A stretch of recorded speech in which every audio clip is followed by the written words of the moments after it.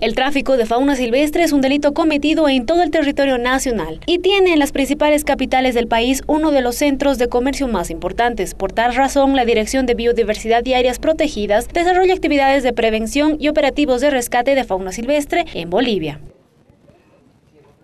El comercio ilegal de la fauna y de los recursos naturales es uno de los grandes negocios lucrativos de los grupos criminales organizados en el mundo. Los efectos más evidentes de este comercio se reflejan en la diversidad biológica mundial.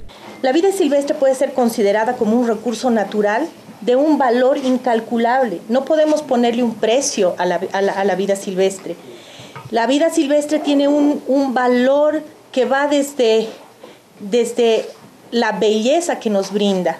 Según la WWF, el crimen organizado transnacional traslada ilegalmente más de 100 millones de toneladas de peces, 1.5 millones de aves vivas y 440 mil toneladas de plantas medicinales al año, sobre todo para la medicina tradicional china. Los jueces aún están renuentes a la aplicación estricta de la norma el, Estado, el Ministerio de Medio Ambiente siempre busca la interposición de la sanción más alta y esperamos que en estos últimos casos uh, vayamos a obtener ese resultado.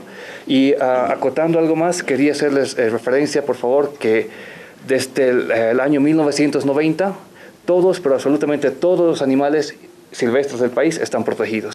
Otros datos alarmantes incluyen el desplome del número de elefantes africanos de 1.5 millones en los años 70 a menos de 500 mil en la actualidad. La población de tigres en la India, históricamente hogar de más de la mitad de la población de tigres en el mundo, se ha reducido a la mitad, de 3.642 en 2002 a 1.411 para el 2008. El 90% de la población de rinocerontes global ha sido arrasada por el tráfico, dejando solo 29.000 en la actualidad. En Bolivia el tráfico ilegal de fauna silvestre no es un problema pequeño, ya que año tras año se registran diversidad de hechos, razón por la cual hasta la fecha 65 casos se encuentran en manos de la justicia desde el 2008. Desde el 2014 el Ministerio de Medio Ambiente sigue alrededor de 15 procesos penales con, eh, por tráfico de colmillos de jaguar, con casos relacionados con este tipo de ilícito. En la actualidad, a nivel nacional existen dos sentencias condenatorias emitidas al respecto, una en Cochabamba, la otra en San Borja. De acuerdo a datos de la Dirección de Biodiversidad, solo en el departamento de Santa Cruz, en el último año, se ha logrado atender cerca de 800 animales rescatados, los que recibieron atención veterinaria, psicológica y de resguardo. En los últimos días, el juez cautelar Martín Menacho ordenó la detención preventiva en la cárcel de Palmasola de una pareja de asiáticos por la comisión del delito de destrucción y deterioro de bienes del Estado y la riqueza nacional, luego de que estos fueron encontrados con 185 colmillos de jaguares, pieles y garras de los felinos, además de estatuillas de marfil. Caso pese a que nosotros eh, a los fiscales le dijimos que le den orden de aprehensión desde noviembre del año pasado, eh, hoy día en febrero cuando hemos ido a la audiencia. Lamentablemente eh, el otro ciudadano este, se ha escapado, tiene medidas eh, cautelares de aprehensión.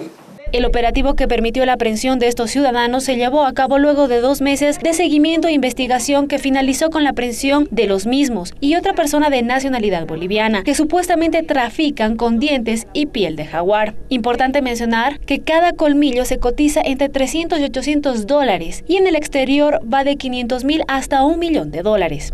El jaguar en Bolivia está en peligro de extinción como consecuencia de la cacería y el contrabando de colmillos de esta especie a través de redes de tráfico.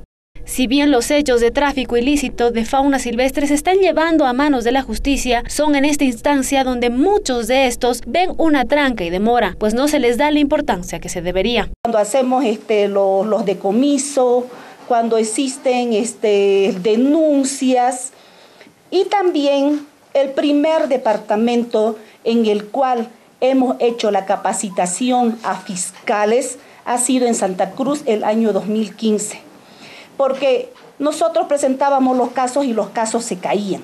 Entonces teníamos que tener el apoyo de las autoridades, de los órganos judiciales.